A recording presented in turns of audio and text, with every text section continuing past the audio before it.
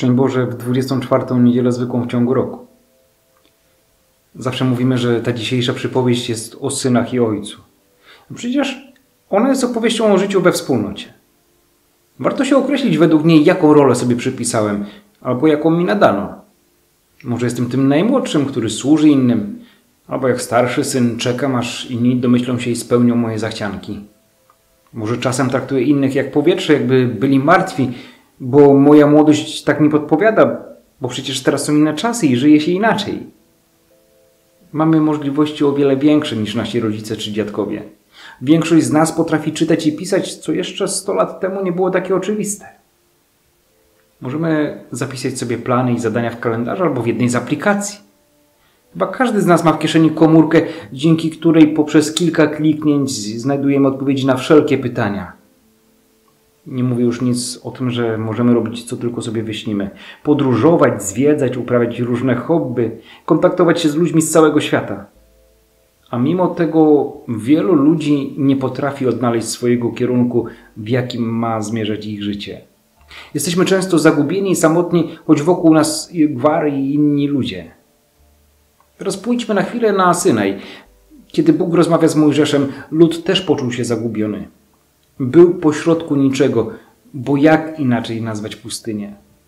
Samotność i zagubienie pchnęły ich do szukania sobie przewodnika, który, prawdę mówiąc, nic im nie podpowie ani nie doradzi. Złoty cielec będzie tylko posągiem, który uznajemy za bóstwo. Ale nie będzie on żywy, nie będzie kochał, nie będzie się troszczył ani nie pogrozi palcem, jak będziemy przesadzać. Wydaje się, że Bóg też miał dosyć. Jego cierpliwość wyczerpała się i gotów był wszystko zaniechać, gdyby nie słowa Mojżesza. Wspomnij na Abrahama, Izaaka i Izraela.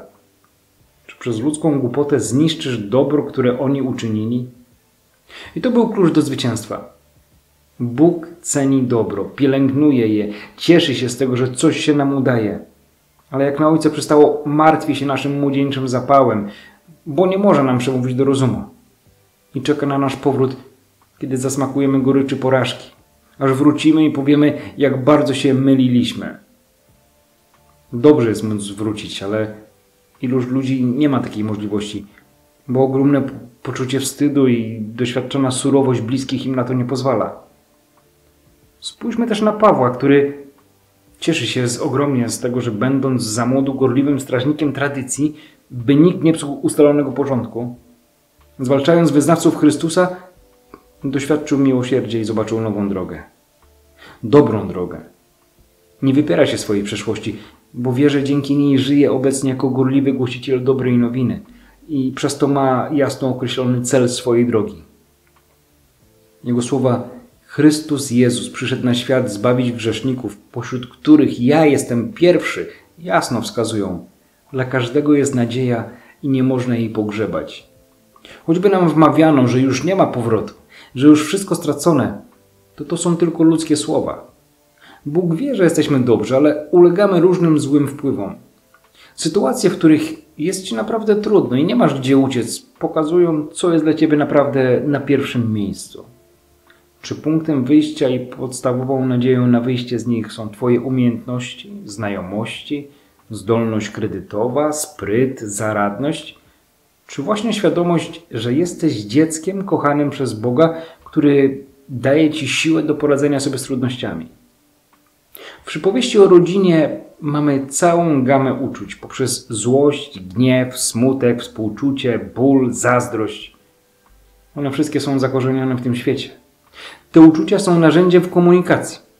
Wyrażają mój wewnętrzny świat, pokazując go na zewnątrz. Ta przypowieść zachęca nas, żebyśmy patrzyli na nasze uczucia, bo jest w nich energia, która wspiera nasze działania. Pamiętajmy jednak, że dzięki niej możemy budować albo niszczyć. Może nie zawsze uda się na nie wpłynąć, bo one wychodzą z serca i naszych myśli. Bóg jednak cały czas koryguje naszą wiedzę o Nim i o nas samych. Jego słowo oczyszcza nasze serca, by nasze uczucia prowadziły nas do dobra, które zbliża nas do Boga i innych ludzi. Bóg kocha dobro, cieszy się z Jego obecności w naszym działaniu.